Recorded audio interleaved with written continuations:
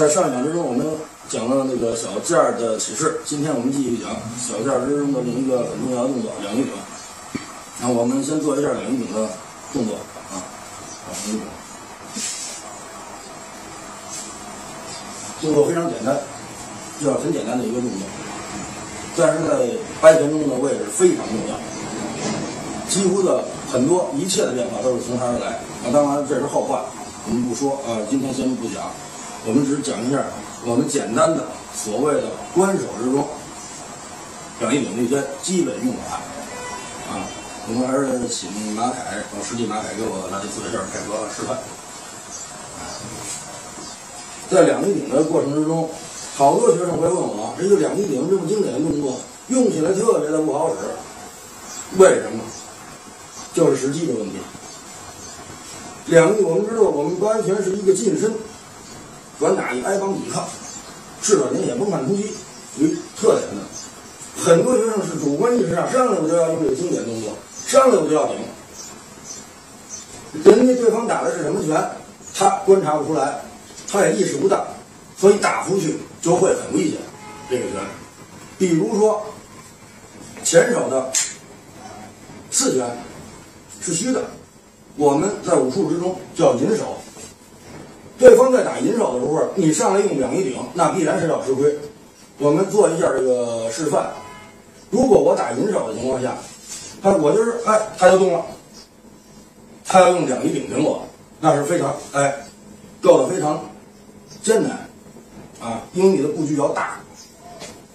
我们再做一下前手的真正的实拳，就是直拳打出去。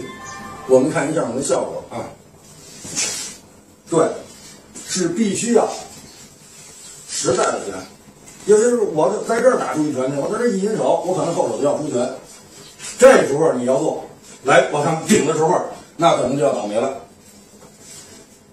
所以我们在做两鱼顶，一定要抓住时机。可能前手虚拳啊，一直在看啊，抱起一个架势啊，先抱起一个架势，呃，积极的这种架势啊，我们可以做用。哎，这些动作，对，你可以不用真正的东西之后再出拳。当然了，可能我们经常注意上半身两个顶的这个动作，下半身会忽略。它的脚底下，我们来看一下，它是一个拥托。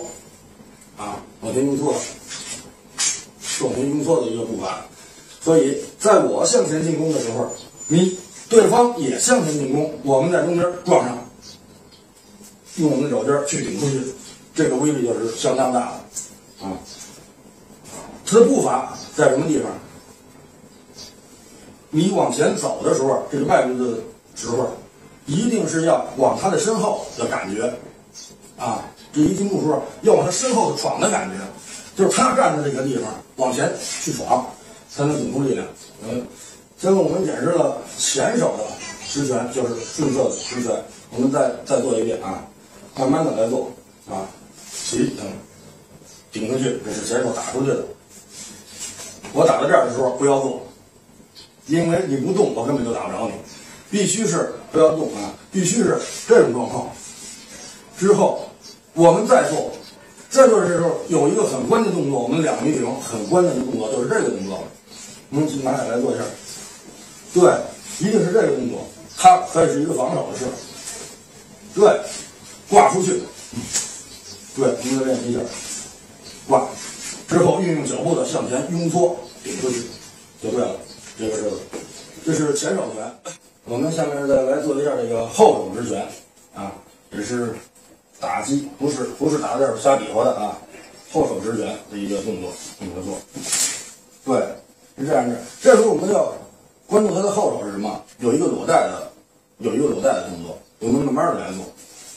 哎，有一个裸带的动作啊，这后边的一些更复杂的一些变化，我们搁在以后的呃来讲。今天我们只讲这一个顶的动作，但是做了一个比较正规的顶，比较正规的一个顶。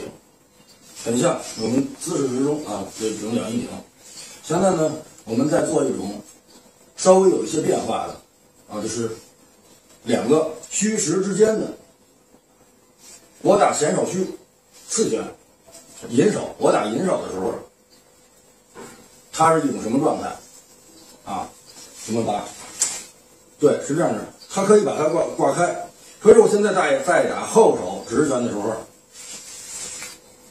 好，这就是出现了这个步伐稍微的有一些大，因为在在这个原先在我们在做的时候是为了先是把这个动作完整的表现出来，应该是怎么做呢？慢慢的来做啊，一进步起，二对后脚的这种步一定要跟上啊，这两种动作一定要跟上。这是不要成为一、二脚步跟不上，你重心也不稳。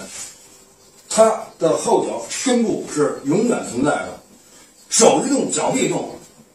这不过是需要你不断的练习啊。我们现在还是继续练习这个顶，看看我们这顶动作啊，就是一二，对，一二，连续的追着，追着这种。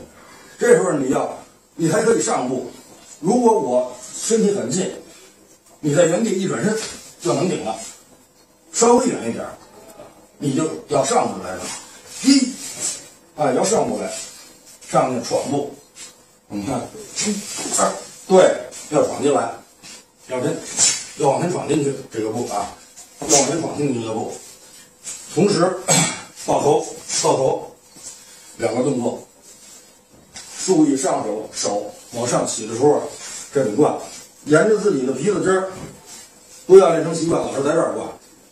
这个关于到我们在练习过程中位手的人，位手的人，如果我这一打的时候，我可能这时候看不见，我打这边啊，我们总老往这儿打，他不用躲，根本根本就不用去练，他养成习惯总是这么挂。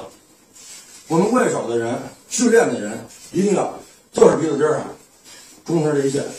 哎，我们在练让你的学生啊，或者呃和你一块儿练习的人去练习，看，对，练习，同时在练习下潜、缩身、扶头，哎，下潜，对，练习进步，嗯，对，是这种状态就出来了。我们就可以是啊，在练习左手的一，啊，一下，一下，对，我们对，身体一定要正。为什么要正呢？你挑的时候，千万不能说这个手来了之后，我站着去挑，我自己重心就不稳了。必须要正，就是往你这儿来，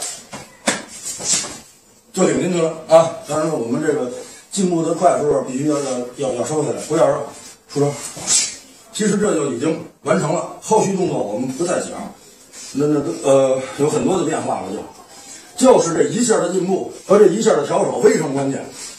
调手这下，啊，我们行调手这下，一定沿沿自己的中心线，啊，手向外翻翻举，啊，我们来做一遍啊，我们来做一遍，对，一定要正，可以有上下的起伏，千万不要有左右的起伏啊，那下起伏，对，上下的起伏，对，这个两仪柄的狠毒之处啊，厉害之处可能就能体现出来了。下面呢，我们再做一下这个快速的训练方式。